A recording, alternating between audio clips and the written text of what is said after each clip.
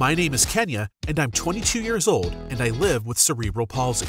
I was born this way, so it's not like I know otherwise. I like to paint, and I do it with my feet. But it's not always easy for me.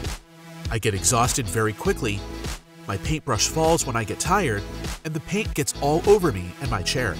The easel is very high and requires a lot of effort to reach, and the color palette is always a challenge. So I've decided to call my friends, Offri and Aviv, so they can help me out. They're both industrial design students at HIT. They came to me with all kinds of ideas. We tried so many prototypes they made for me. Some were good.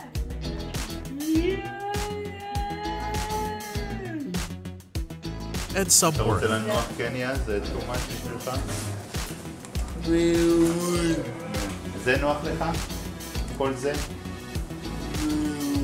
יס. איזה מרגש! וזה נוח גם? יס. קניה. אתה משמח אותה. גם אתם But most of the time, I was happy. They made me an easel, which I can control, brought the color palette to easy reach, and most importantly, this paintbrush holder, so I don't get tired so quickly. I can't wait to get it. Thank you, guys.